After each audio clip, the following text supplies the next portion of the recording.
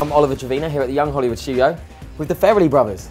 Hey, Bob and Peter, how are you? Good, how you doing, man? Thanks for Good stopping here, in. man. Thanks for stopping in. Yeah. Very talented men. If you don't know who they are, then frankly, you must be very boring and don't enjoy a good laugh. Massive movie, something about Mary and me, myself, and Irene. And you guys obviously work together so much. Do you have much conflict? Do you get along all the time? Not all the time, but most of the time. You know, we've always been close. We're a year and a half apart. And uh, we always grew up with the same friends who shared a bedroom. You know, we get along very well, but you, you bump heads every now and then while writing and while editing. But Uh-huh. nothing nothing serious. Great partnership. And how did it all happen? Did both of you, this is always what you wanted to get into? No. Mm-mm, no, actually, we had tried a few other things first. You know, it wasn't until we were probably about 30 years of age or so before we. Yeah. I tried to be a brain surgeon in my 20s, and uh, you got to get. Did you study for that or did you just go straight in? No, you have to have a degree, I Okay. found out. So they closed me down. It was really mid 20s we started thinking about it, and we'd failed at a few other things and sort of had nothing to lose. So when we went for it, nobody held us back. It wasn't like, come on, guys, Yeah. don't do, you know, they were like, great, try it, whatever.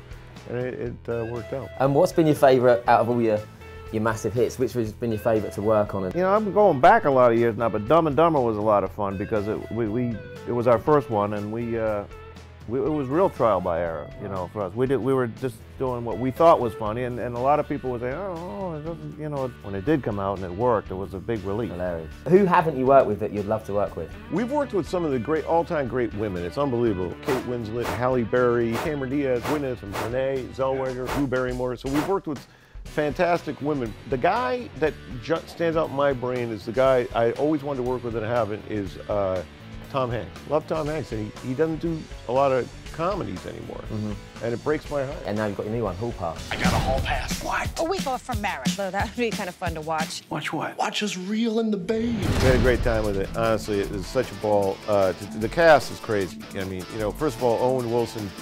We've known him for years. He's fun. Fun. He's the easiest guy we've ever worked with. Put it that way. Uh, he's like a, a, he, he just couldn't. And Jason Sudeikis. Jason Sudeikis. We didn't know much about. He's on Saturday Night Live, but very funny. Definitely. I mean, Will Ferrell type funny. We've always wanted to work with Owen Wilson. We just, you know, we love him. We think he's very funny, very smart. Uh, he always plays the same kind of guy. It seems a really cool guy. And in this movie, he's not that cool. Right. You know, so it was fun to see him in a different role. You realize how much easier this is gonna make it for me? Having a hall pass partner? Yeah, tell me about it. And it's not just me. No, it's gonna be Gary, Hoghead Flats. They're all coming out with us tonight. Are you joking? Those guys got hall passes? No, no, no, no, no, no, no. They just wanna watch. Let me log out. Okay, you log out. I'm gonna try to do the receptionist. What other projects can we uh, look forward to that are coming up? You know, interestingly enough, we, we, we, we've been working on this project, The Three Stooges. Uh, we love The Three Stooges. They made us laugh. We used to watch them when we were growing up, and uh, we wanted to redo them. And we've been working on it for about 10 years, and just finally got the green light on it. So that, that's going to be our next project.